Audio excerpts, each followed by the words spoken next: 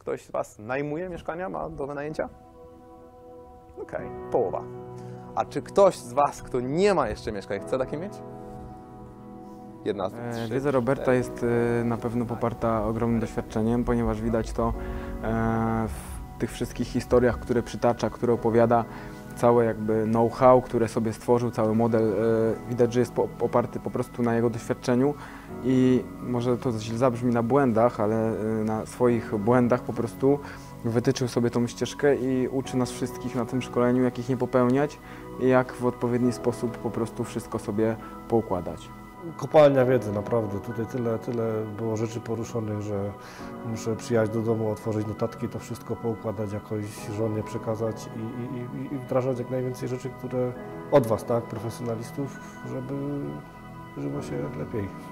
Jeżeli ktoś jest zainteresowany inwestowaniem w nieruchomości, no to chyba pierwszy punkt przed kupnem e, i sprowadzeniem sobie problemu przyjść, porozmawiać z ludźmi, dowiedzieć się, jak właśnie są skonstruowane umowy, jak negocjować. Każdy inwestor powinien zacząć od takiego szkolenia. Od razu już wiem, gdzie mam szukać e, nieruchomości. Do, do tej pory Robert, pomimo że się już znamy długo, e, nie zdradził mi tego sekretu, sekretu, więc już teraz wiem, gdzie mam szukać konkretnie nieruchomości, poza oczywiście swoimi kontaktami. Jak również też już wiem, jakiego typu nieruchomości dla mnie będą e, najlepsze i jaki sposób zarządzania i inwestowania w nieruchomości to jest to, co chciałabym robić. A czego bym nie chciała, co też jest na pewno dużym ułatwieniem. Ja tu przyjechałem, ponieważ zaczynam dopiero, przygotowuję swoją pierwszą nieruchomość i tak postanowiłem, że, że zrobię to od razu dobrze. To e, umowy, konkrety, tak, i, i, i bardzo konkretne rozwiązania, że e, mniej jeśli chodzi tam o, o wielkie strategie inwestorskie, bo to, to mm, pewnie za jakiś czas dopiero, ale e, konkretne umowy, rozwiązania e, współpracy z najemcami i też e, rozwiązania techniczne dotyczące nieruchomości.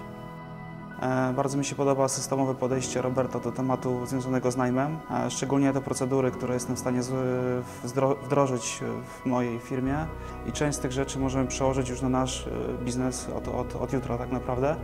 A w temacie samego najmu, no to bardzo podobają mi się te narzędzia, o których, o których Robert wspominał na, na szkoleniu, czyli te wszystkie kwestie, wszystkie tak naprawdę pomocnicy, tak, elekt- elektroniczni pomocnicy to jest coś, co też na pewno wdrożymy i, i zastosujemy.